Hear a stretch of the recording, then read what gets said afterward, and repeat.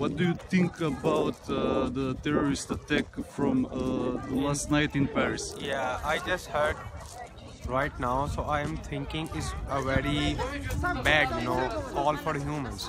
As we are refugees and we are going to find a good way of our life, so it's not bad, you know, as you can say, is difficult. You know, if we are going there, there must be create problem for us. And uh, what will I say is a very much, you know, a big disgrace, you know, as they did in Paris. That I just want to say.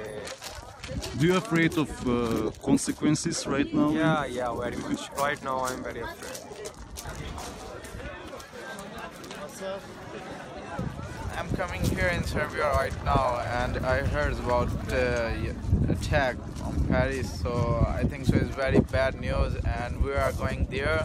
We want to go there in Paris for a good life, for a good lifestyle, for a good. There we are safe. But now you're telling me there is yesterday is somebody attacked there, and 130 people gonna die there. So it's a very bad news, and now we are afraid. We will we will go there or not, and that thing is very bad the women is, are not safe there. So. Do you afraid of some consequences? Yeah, right now, now. So, thank you so much.